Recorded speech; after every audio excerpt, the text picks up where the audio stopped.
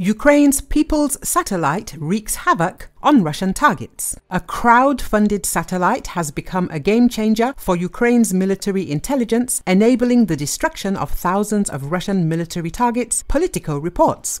The microsatellite, purchased by the Finnish company ICEYE has allowed Ukrainian forces to monitor Russian troops' movements, logistics, and equipment. The results are just over the moon. Ukrainian military intelligence stated in a report the satellite's acquisition stems from a unique fundraising effort. Serhiy Prytula, a former TV presenter whose charity foundation spearheaded the initiative, told Politico, thanks to the People's Satellite, our military managed to destroy thousands of military targets, including the Rostov-on-Don submarine and the Minsk large landing ship, to name a few. It paid itself off dozens of times. The fundraising campaign initially aimed to purchase Bayraktar drones. However, when the manufacturer donated the drones instead, the $2 million raised was redirected toward acquiring the satellite and access to ICEYE's database. Prytula emphasized the unprecedented nature of this civilian contribution to national defense, stating, I don't remember any case when civil society bought a satellite for defense intelligence of its country, and Ukrainians are the ones who did it.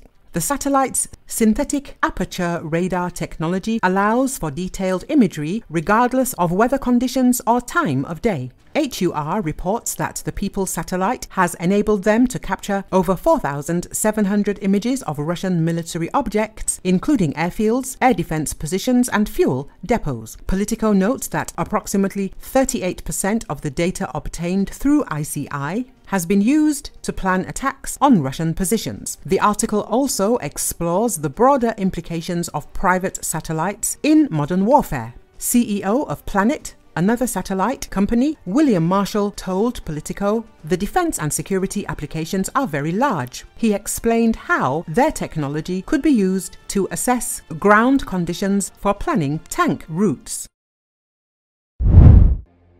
Hurricane Beryl strengthened to Category 5 status after it ripped doors, windows and roofs off homes across the Barbados, southeastern Caribbean with devastating winds and storm surge fueled by the Atlantic's record warmth. This hurricane brought devastation to the Windward Islands, where at least one person is dead. Its intensity also marks just the second time an Atlantic hurricane has reached Category 5 status in July after Emily did so on July 17, 2005, according to the National Hurricane Center.